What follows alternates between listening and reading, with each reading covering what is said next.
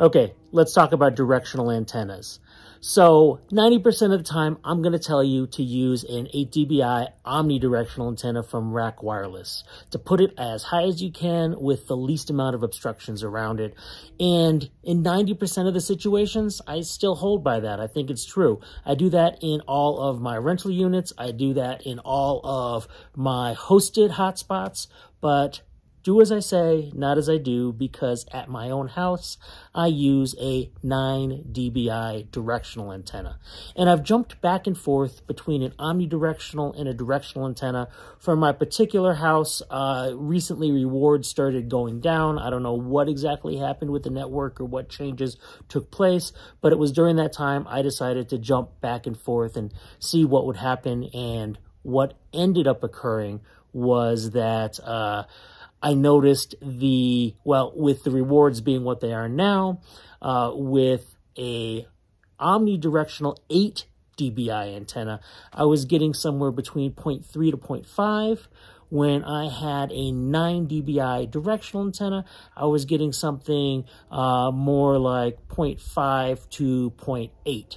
So I want more HNT, right? And uh, if I can get up closer to one HNT a day, I'm going to do what it takes. Except I'm dying my roof. So, that being the case, uh, this is where approximately my antenna is located. In my attic, right up against that wall right there uh, to the outside of my house, hopefully above the roof of my neighbor. And uh, as you can see, I've got a nice view of downtown, but uh, from there to the West of me is all mountains. And to the north of me, I have a hill that goes up, uh, ooh, I don't know how, how high it is to get to the top of the hill. But um, yeah, I, I really doubt that I'm going to get many signals that direction. Uh, there aren't really any signals north of me anyway. And uh, to the east of me, I have a ridge line of houses. Sometimes I get over that, sometimes I don't. Um, but because of all of this and looking at where uh, where people are witnessing my hotspot from, I focus on downtown. So it makes sense to me. Now, a directional antenna, such as the one I have, has a angle horizontally of 70 degrees. So I have this 70 degree, 70 degree angle downtown to witness all my hotspots, uh, and uh, yeah, that works for me. Now, consider the fact that a directional antenna isn't exactly directional. There are lobes that go in other areas and there is some space behind the antenna that it'll get as well. But for the most part, it's focused on that 70 degrees. Also understand that between an 8 dBi omnidirectional antenna with a vertical angle of 15 degrees. Now, I don't like to go by these angles exactly because they're not exactly true, but we're using them as a reference point. So let's continue. Um, a 9 dBi antenna directional antenna uh, has a vertical of 60 degrees. So it's definitely wider getting downtown. And uh, as many people get concerned that, uh, you know, that 8 dBi has uh, too thin of an angle, um, well, they'll definitely feel better with a directional antenna. Now, all of this being said, I'm not really worried about distance in this. I mean, sure, as directional goes, it's going to go even farther than an 8 dBi antenna. But what is interesting to me is that we are talking about 9 dBi. Now, in terms of POC V11, uh, 9 dBi is the limit. It's the FCC limit of what they're allowed to do with long-range antennas, and that's why they're trying to get uh, POC or proof of coverage version 11 to be in effect and make it so that if you have more than 9 dBi, they're going to throttle you down. So if you get an antenna such as this, they're not going to throttle you. You are fine. Uh, that being the case, you know, some people are thinking maybe a 10 dBi antenna, and I get that. Uh, if you get a 10 dBi antenna, but have, let's say, uh, let's say uh, 20, 40 feet of LMR cable on that, um, that's going to reduce your DBI by quite a bit. So, it, you know, it makes sense. Then you're going to be within that 8, 9 range. If uh, you are blocked uh, by things such as your roof or glass and you get the estimates right, then sure, maybe it's worth getting a 10 dBi antenna instead of a 9. Now, I haven't found these. Uh, this L-Com antenna was pretty much the, the best option that I found.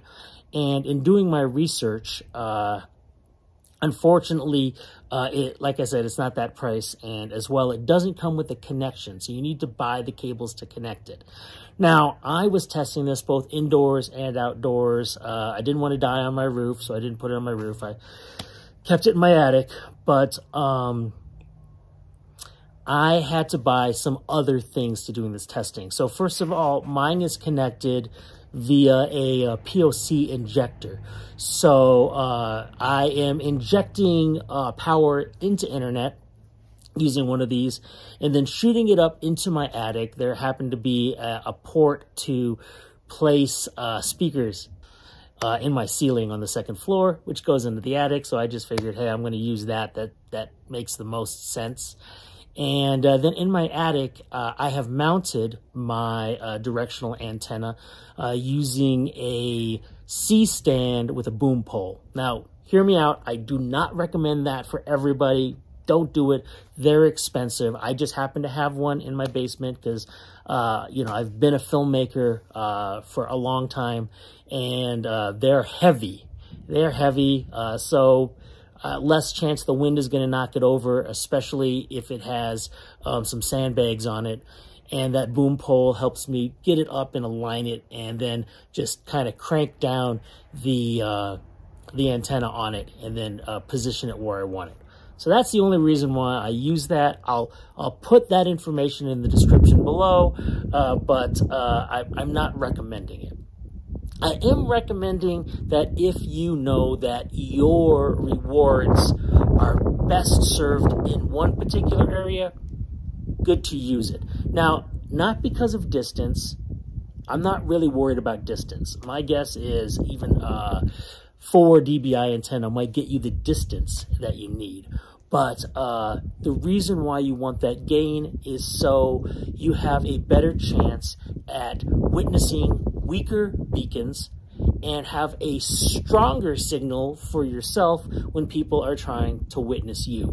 And that is what that 9 dBi is for, in my opinion.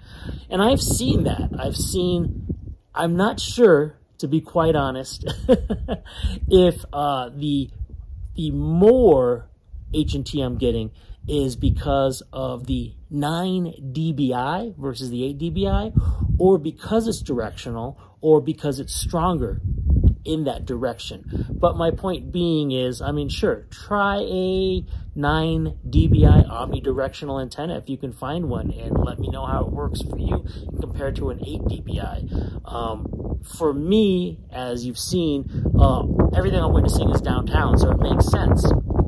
That being the case, maybe all of the good hotspots with high transmit scales are all in one direction. So you want to aim your antenna that way anyway. Um, so these are things to consider, and I definitely recommend you looking into it. Uh, thanks for watching this video. Please do like and subscribe. And one last thing if anybody is interested in me vetting your locations, and uh, I do mean just online vetting your locations and helping to determine uh, what kind of rewards you can expect to get, uh, what situation you might be in, I'm happy to do this as a YouTube video with you.